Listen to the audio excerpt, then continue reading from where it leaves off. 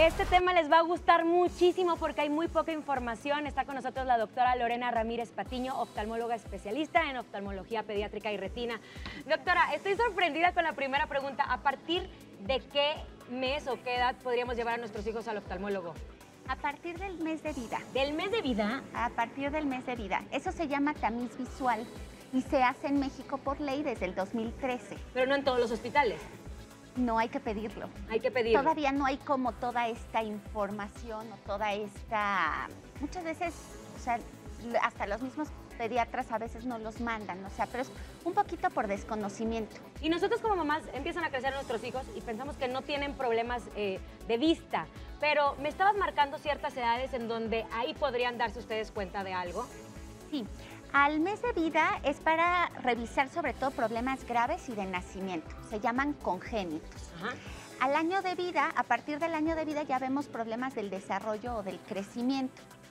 Es 1, 3 y 5 años. A los 3 años y a los 5 años. Y a los 5 años. A los 5 años. Doctora, ahora, para los niños, eh, es algo, es algo que me estás contando que me sorprendió mucho, que de repente ellos se acostumbran a ver y ven borroso y nosotros no nos damos cuenta como papás.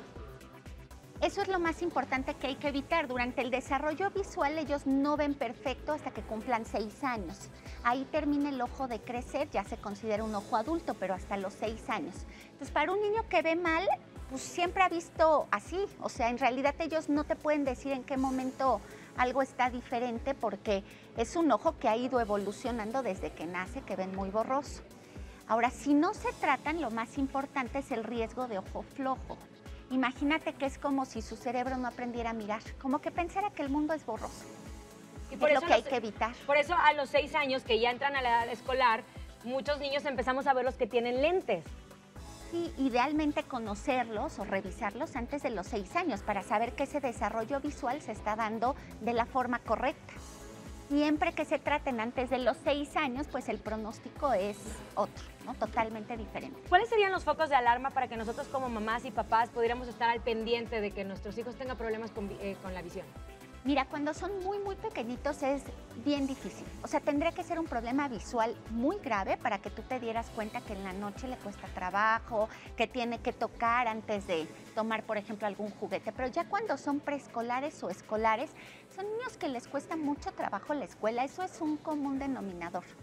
Son niños que el aprendizaje es mucho más difícil para ellos. La lectoescritura es cuando se dan cuenta los papás cuando empiezan ya, por ejemplo, entran a, a a, primero de primaria, que es cuando les empiezan a poner todo, leer y escribir, ahí ya nos atoramos con los niños que tienen mala visión. Si se caen mucho.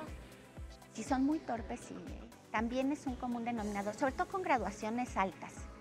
Cosas pequeñitas, te digo, es bien difícil. Ahora, muchos han diagnosticado que tienen eh, hiperactividad y no es eso tienen temas de, visión. De visión. Hay un estudio muy grande que dice que hay niños que han sido mal diagnosticados con TDA y autismo, que es trastorno por déficit de atención e hiperactividad, y no veían bien.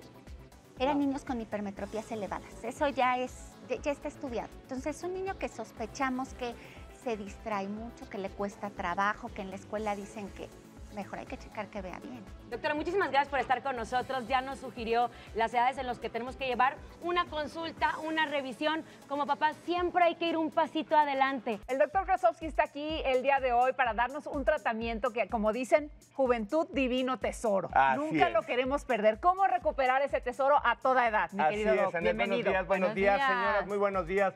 Señores, también muy buenos días. Pongan mucha atención, hombres y mujeres. ¿Por qué? Porque les vamos a platicar hoy de la única, exclusiva y original dosis de juventud. ¿Qué es la dosis de juventud? ¿Qué es, doctor, por favor? lo necesitamos saber. Bueno, antes que nada, déjenme explicarles que la causa del envejecimiento de la piel, vamos a hablar específicamente de la piel de la cara, es la pérdida de colágeno. Esa es una de las principales causas que hacen que la piel empiece a caer. El colágeno es una red de proteínas que se encuentra debajo de la piel y lo que hace es detiene la piel para que esté en su lugar.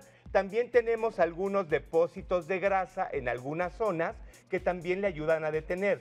¿Y cuál es la realidad? La realidad es que conforme va pasando el tiempo, se van perdiendo esos depósitos de grasa. Oye, pero a los veintitantos años, o sea, es muy rápido que el colágeno va disminuyendo y se va dejando de hacer, ¿no? a partir de los 28 años. A los 28 años, como bien lo comentas, se empieza a perder ese colágeno.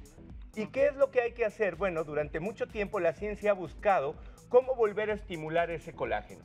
Y hay un producto que se llama Sculptra o ácido poliláctico, que es el único producto a nivel mundial que está autorizado en todo el mundo como estimulador de colágeno. Pero ¿por qué es tan importante la estimulación de colágeno? ¿Qué es lo que pasa? Entra el producto en la piel mediante pequeños piquetitos y al estar en la piel llegan las células que forman el colágeno y lo intentan destruir. Y al no poderlo destruir, empiezan a liberar colágeno, empiezan a liberar estas fibras de colágeno, el producto se va absorbiendo porque es absorbible y el colágeno se queda en la piel. ¡Ay, qué maravilla! Es como magia. Pues es como, como natural, bueno, como algo muy natural que funciona muy bien y claro, desde afuera lo vas a ver como magia. ¿En cuánto tiempo se ve, doctor? Se pone el tratamiento con, la inyección. ¿En cuánto tiempo se ve el resultado? Esto es muy importante la pregunta. ¿Por qué? Porque se ponen tres sesiones. Esto es, eh, a diferencia de, por ejemplo, de un relleno, el relleno va a llenar las, arrugas y se va a ver el resultado de inmediato. La toxina botulínica va a paralizar y se va a ver a los tres o cuatro días el resultado. Aquí con la estimulación de colágeno empieza a producir colágeno, entonces se pone una vez al mes. Son tres aplicaciones, tres meses seguidos y a partir de la segunda aplicación es cuando se empieza a notar más el resultado. Pero el 90% de los pacientes desde la primera empiezan a ver que la piel se ve más sana, más hidratada, más lozana y empieza a recuperar esa juventud que tenían antes. Sí, ya nos vamos a ir juntas, derechito al Pero además yo lo quiero saber, son tres, tres meses. ¿Y cuánto tiempo nos dura esa dosis de juventud, doctor? Ah, excelente. Después de las tres aplicaciones, ahorita pueden estar viendo cómo se pone. Son pequeños piquetitos que en cada aplicación va cambiando. No crean que siempre se ponen en el mismo lugar, tenemos que valorar muy bien. Y después de esas tres aplicaciones, como bien lo preguntas, se pone un mantenimiento cada año.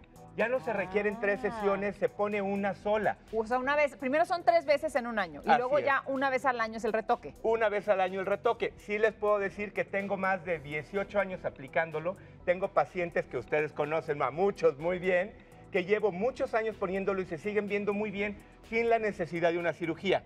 ¿Por qué? Porque al estar estimulando el colágeno, la piel se mantiene en su lugar.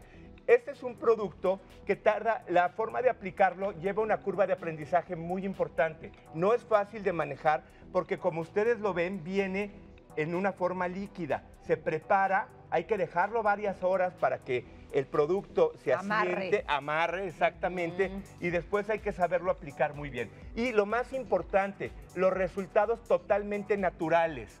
no aumente el volumen, ya saben que yo soy antivolúmenes raros en la cara, ah. anticambiar gente. Buscamos que la gente se vea totalmente natural, que se vea bien, que se vea como se veía unos años antes, pero sin cambiar ni la estructura de su cara ni las facciones de su cara. Querida familia de Venga la Alegría, antes de que sigan viendo más videos, tenemos un mensaje muy importante. ¿Ya se suscribieron a nuestro canal de YouTube? Es súper fácil, solo píquenle aquí, abajo en el botón. ¿Eh? Así no se perderán los programas, los juegos, los debates, reportajes, la cocina de Mariano y mucho más. Así que ya lo saben, súmense a nuestra gran comunidad de más de 2 millones de suscriptores y recuerden que juntos hacemos que... ¡Venga la alegría!